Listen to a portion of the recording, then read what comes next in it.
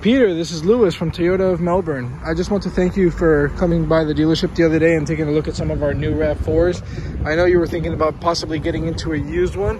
We have a couple of 18s here, a 2014 here, and another 18 in the back over there.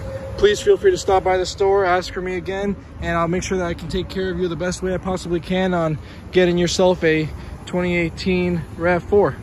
Thank you so much.